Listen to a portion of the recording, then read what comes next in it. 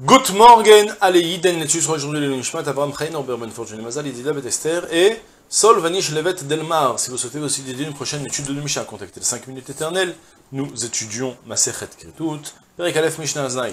Haisha Shayesh Alea, Safek Hamisha Zivot, Usfek Hamisha Leidot, Mevia Korban Echad, Vochelet Bizvachim, Ven Ashar Alea Chova. Hamesh Leidot Vadaot, Hamesh Zivot Vadaot, Mevia Korban Echad,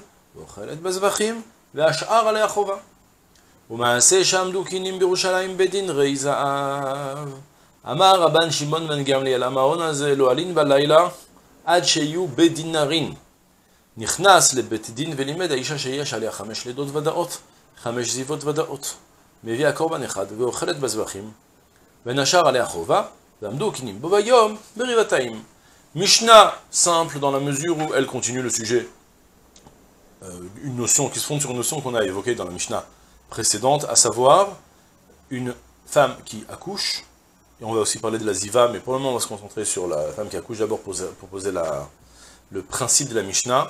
On va se concentrer plus précisément sur la deuxième partie de la Mishnah, et après on expliquera la première. À savoir, lorsqu'une femme elle accouche, alors on avait appris pour un garçon après 40 jours, pour une fille après 80 jours, cette femme doit apporter des korbanot, un korban ola et un korban khatat. D'accord? Khatat d'abord, ola ensuite. Euh, khatat et d'accord. Maintenant, on avait appris aussi qu'une femme qui accouche plusieurs accouchements, et qu'elle n'a toujours pas apporté son korban, cas classique, elle a accouché un premier, puis euh, donc elle a ensuite pour sa purification tout d'abord, alors on avait appris qu'elle devait attendre 7 jours, un peu mikvé, ou 14 jours, un peu mikvé, c'était un garçon pour une fille, après attendre 33 jours ou 66 pour le garçon et une fille, et après 80 jours ou 40 pour un garçon, eh bien, elle doit porter un korban au Betamikdash. Elle a eu la flemme, ça s'est pas présenté, et puis du coup, elle est retombée enceinte, et du coup, elle a eu, elle est encore plus fatiguée, elle n'est pas remontée au Betamikdash, et puis après, elle a accouché son deuxième enfant. Eh bien, cette femme-là, elle a imposé d'apporter deux corbanotes. Deux paires de corbanotes. Pour chaque naissance, un korban Ola et un korban Khatat. Si elle a eu fait le coup cinq fois, alors elle devra apporter cinq paires de korban. D'accord? On avait appris maintenant, concrètement, on avait même évoqué dans la mission précédente, donc c'est pas la peine d'attendre aussi 9 mois à chaque fois. Ça peut même se faire dès qu'on a dépassé les 80 jours. Si elle retombe enceinte, elle a fait une fausse couche après 41 jours. C'est-à-dire, elle attend d'avoir 80 jours, après elle, est retombée enceinte pendant ce temps, et puis euh, il y avait un fœtus de 41 jours, alors elle devra aussi apporter un corban, et ainsi de suite, donc ça peut raccourcir beaucoup la période. Concrètement, maintenant, donc elle a un devoir d'apporter 5 paires de khatat et ola. On avait appris que ces corbanotes-là, ils sont nécessaires pour finir sa purification. C'est-à-dire, on va prendre le cas d'un accouchement d'une fille. Après 14 jours, la femme se trempe au mikvé après les 40 jours, après ces 14 jours donc, elle est devenue pure pour son mari, mais pas encore pour entrer au Beth Cette purification pour entrer au Beth elle, elle va durer encore jusqu'à 80 jours, jusqu'au 80e jour, donc encore 66 jours, et puis après, au 81e jour, elle apportera un korban au Beth et dès lors, elle aura le droit de rentrer au Beth de manger des korbanot aussi. Alors maintenant, on se retrouve avec une femme qui a 5 devoirs d'apporter des corbanotes. La Mishnah, le but de la Mishnah, est de m'enseigner, tu sais quoi? Dès qu'elle va apporter la première paire de korban, dès lors, elle pourra entrer au Beth même si elle a encore un devoir d'apporter la suite. A certes une obligation d'apporter le korbanot, mais ça, pour sa purification, on se comme quelqu'un qui était impur euh, dix fois. Un homme qui était bah, euh, dix fois de suite. Il sent plus de fois mikvé, il purifie tout d'un coup. Idem aussi, même s'il y a un devoir, certes, d'apporter 10 paires, 5 paires de korbanot, eh bien, avec la première paire qu'elle apportera, elle sera désormais pure pour pouvoir manger les corbanotes. Et le reste, elle aura une dette. C'est le principe simple de la Mishnah. Même principe, maintenant, qui se retrouve avec la tomate ziva? Tomate ziva, ça se passe comme ça. On, avait déjà, on a déjà évoqué plusieurs fois le, sujet. Il y avait eu dans tout on avait évoqué aussi, encore une fois, une femme, ou même un homme, enfin, on va, on va parler de la femme, c'est plus facile. Et dans la prochaine Mishnah, on parlera de l'homme aussi, on expliquera de nouveau la, la pour les hommes. Pour les femmes, pour le moment, une femme, elle a son cycle de règles, et alors, selon la Torah, on ne se conduit pas comme ça aujourd'hui, mais en tout cas, selon la Torah, dès qu'elle va voir une femme que pour le moment elle n'a pas ses règles pendant, pendant longtemps, elle n'a pas vu de sang depuis très longtemps, et un jour, elle a du sang. Selon la Torah, alors elle, elle est Nida. D'accord? La Nida, selon la Torah, implique qu'elle patiente 7 jours, elle se trempe au mikvé. Même si elle a vu pendant les 7 jours d'affilée, si le septième jour, maintenant, elle a arrêté de voir, le soir même, elle se trompe au mikvé, elle est permise à son mari, et c'est fini. On ne se conduit pas comme ça à notre époque, pour plusieurs raisons, entre autres, pour ne pas s'embrouiller entre la Tumat Nida et la Tumat Ziva, qui est assez complexe, mais encore d'autres raisons pourquoi. Donc aujourd'hui, dès qu'une femme a une quelle petite goutte de sang qui, s'écoule de là-bas, eh bien, elle doit patienter d'abord 4 euh, ou 5 jours, dire jusqu'à et puis après elle patiente. Euh, elle fait pendant 7 jours, elle fait son F Tahara, et 7 jours elle fait des vérifications, elle se trempe ensuite au milieu après le 11-12e jour. Enfin, on revient donc sur notre sujet. Selon la Torah, il y, a, un cycle de Nida et après de Ziva. Nida, Ziva. 7 jours, 11 jours. 7 jours, 11 jours. C'est-à-dire, je m'explique. Lorsqu'une femme, elle va avoir une goutte de sang, elle est, devenue Nida. Elle devient Nida maintenant pendant 7 jours, elle n'a plus le droit, bien sûr, elle est impure, elle ne peut pas s'embaumer, il n'y a rien à faire, elle doit attendre la fin de ces 7 jours. Lorsqu'elle finit ces 7 jours, même si elle a vu plein de fois du sang pendant tous les, jours même, dès qu'elle se trompe le soir, elle est permise à son mari.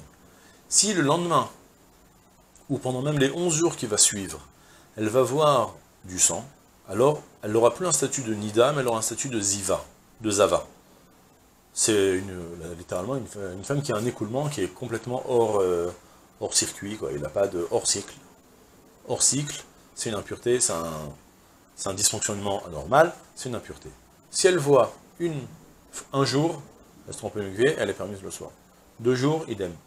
Trois, si elle voit trois jours, elle est ce qu'on appelle, elle est devenue une zavak dola, et dans ce cas-là, elle devra faire le rituel, donc de faire son Tahara, et après faire des vérifications pendant sept jours.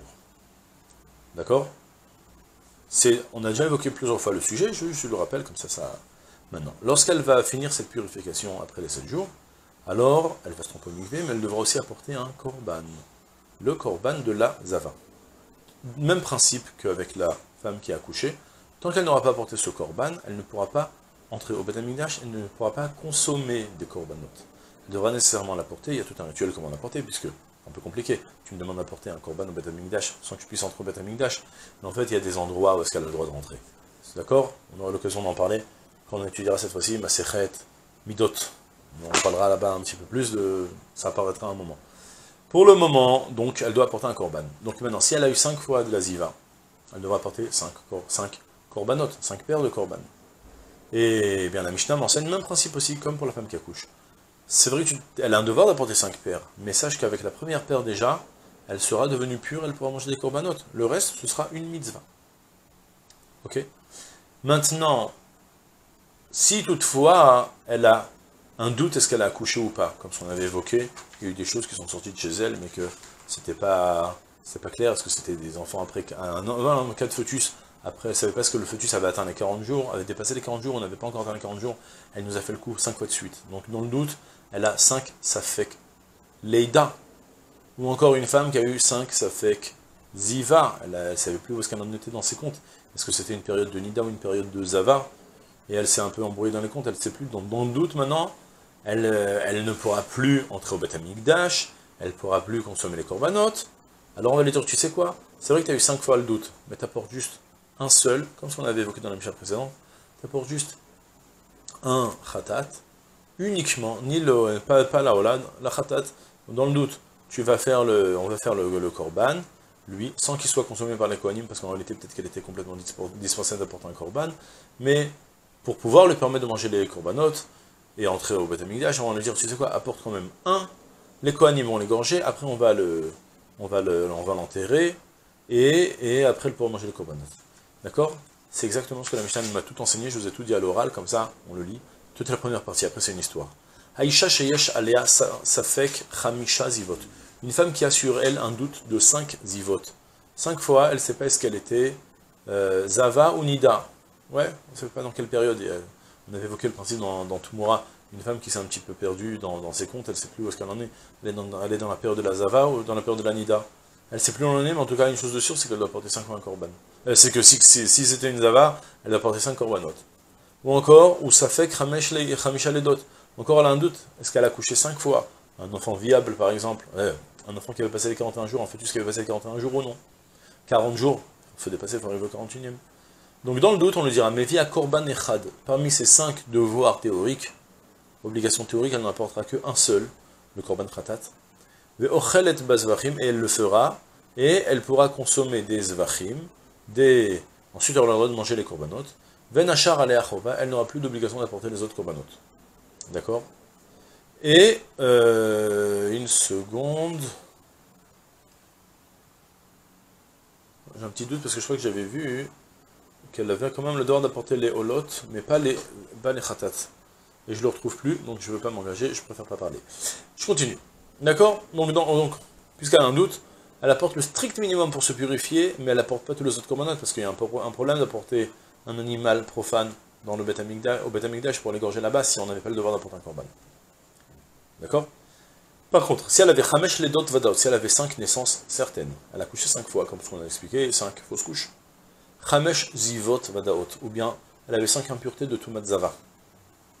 Alors dans ce cas-là, Mevia Korban Echad, Vochalet Bazvachim, elle pourra apporter déjà la première paire de korban, et elle aura le droit de manger ensuite les zvachim, tous les korbanot. Et le reste, ce sera une dette. Elle pourra l'accomplir plus tard, si elle n'a pas les moyens tout de suite, c'est pas grave, elle le fera quand même, elle le mangera tout de suite, ok? Maintenant, le méchant continue en racontant une histoire. Il y a eu un moment où il y a eu une euh, inflation des prix des kinim, des kinim, avec un couf, ça vient de Cannes, un ni, les prix d'une paire, de, paire de pigeons, ça s'appelle un ken. Comme il y aura dans Maseret Kenim, ça va parler que de ça. Donc, il y a eu donc les, euh, il y a eu un moment où les prix des paires de pigeons à Yerushalayim sont devenus à, un des dinrei. Il fallait deux dinars zahav pour pouvoir acheter deux paires de kinim. Donc, chaque paire de euh, paire d'oiseaux coûtait un dinar zahav, une somme énorme. Ok? Et Mama Rabban Shimon Ben Gamliel, Rabban Shimon Ben Gamliel, quand elle a vu ça, elle a dit c'est pas possible, c'est quoi cette folie? C'est quoi cette inflation anormale? Il joue sur les prix. Alors il a dit Rabban Shimon Ben Gamliel, à Maon je jure par cet endroit, le Maon, ça veut dire la, le, ce, bâtiment. Elle jure au nom du Beth euh, Lo alin alayla, je ne vais pas me coucher ce soir, Cheyu bedinrin, jusqu'à que le prix des kinim, des nids, donc des paires d'oiseaux, va tomber à un, dinar kesef. Dinrim, ça veut dire, ils expliquent ici les mots que quand on parle de dinrei, ça veut dire dinrei zahav, mais quand on dit dinarin, dinarin c'est un dinar kesef. Le rapport entre les deux, c'était un dinar kesef, ça coûte 25. Euh, il faut 25 dinars kesef pour faire un dinar zahav. D'accord il, a, il, s'est juré que d'ici ce soir, il fait tomber les prix de tous les, toutes les paires d'oiseaux. Qu'est-ce qu'il a fait? Nichnas le Bedin, il est parti au Bedin, Ve'ama, et il a enseigné. Vous savez quoi Aïcha Shayesh Alea Chamesh Ledot Vadot. Une femme qui a cinq, qui a cinq, fait cinq naissances, ou Chamesh Zivot Vadaot, ou bien cinq fois elle a eu cette impureté de la Zava, eh bien sachez que mais via Korban Echad, elle pourra se contenter d'apporter un seul, une seule paire de Korban pour tous toutes ces impuretés qu'elle a eues, une seule fois et c'est tout. Donc du coup, en fait, et, et ensuite, et après elle pourra manger les korbanot, elle aura même plus d'obligation d'apporter ensuite les korbanot. suite, une fois qu'il a enseigné cette halakha dans Rabban Shimon on va expliquer qu'est-ce qu'il a dit exactement, mais je finis d'abord la phrase.